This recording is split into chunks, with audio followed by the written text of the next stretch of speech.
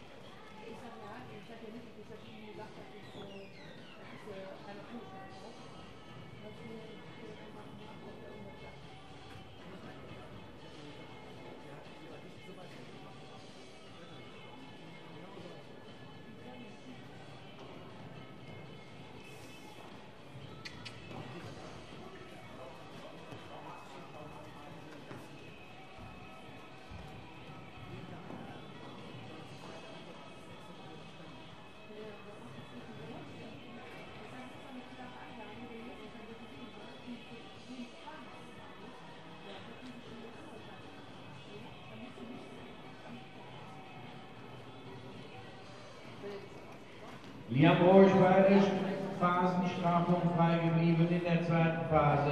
27,71 Sekunden.